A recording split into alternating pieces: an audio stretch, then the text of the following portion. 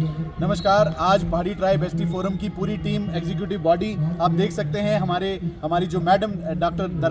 doctor Darakhshan Andrabi madam आई, जो हमारी MOS हैं, वक्फ बोर्ड की, हमने आज उनको नरेंद्र मोदी जी के बिहाफ पे, हमने हमारे लिए इस टाइम सेंट्रल गवर्नमेंट की यूनियन की तरफ़ से वो एक नुमाइंदा है। हमारे पहाड़ी कबीला की पूरी तरफ़ से हमने मैडम का शुक्रिया किया कि हमारे जो जो मैसेज है, ये जो शुक्रिया है, ये सेंट्रल गवर्नमेंट तक पहुँचाया जाए कि पहाड़ी कबीले का हर एक बच्चा, नौजवान, बुज़ुर्ग, औरत बहुत खुश हैं। कि जो हमारा बिल जो है ये इंट्रोड्यूस हुआ है और साथ ही साथ हम सबने एक एक गुहार लगाई है रिक्वेस्ट की है कि इसी मानसून सेशन में पूरी कोशिश की जाए कि इस बिल को एक्ट की शक्ल दी जाए और पहाड़ियों की जो ये दरीना डिमांड है, ये जो लंबी एक जद्दोजहद चलती आई है, इसको ऐसी स्टेटस दिया जाए। बहुत शुक्रिया, जय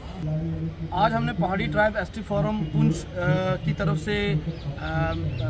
डॉक्टर सैयद दरक्षा रबी मैम को जो एम हैं वक्फ बोर्ड के चेयरमैन और उनको हमने आज जो मेमोरेंडम सबमिट किया, उसमें हमने वोट ऑफ़ थैंक्स जो है प्राइम मिनिस्टर नरेंद्र मोदी जी और होम मिनिस्टर अमित शाह जी का किया और हमारे जो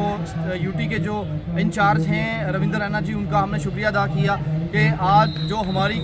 कबीले की जो एक लॉन्ग पेंडिंग डिमांड थी, उसको उन्होंने जो है कंसिडर किया। तो हम एक बार फिर अपना पूरा कबीले की तरफ़ से, पहाड़ी ट्राइब एसटी फोरम की तरफ़ से हम अपने गवर्नमेंट का, अपने प्राइम मिनिस्टर का, अपने होम मिनिस्टर का दिल की उम्मीद गहराइयों से शुक्रिया अदा करते हैं। और ये जो एहसान इनका है, मुझे लगता है कि हमारी आने वाली नस्लें जो हैं, ये याद रखेंगी और कभी भी ये जो है, इसको बुला नहीं पाएँगी। बहुत शुक्रिया।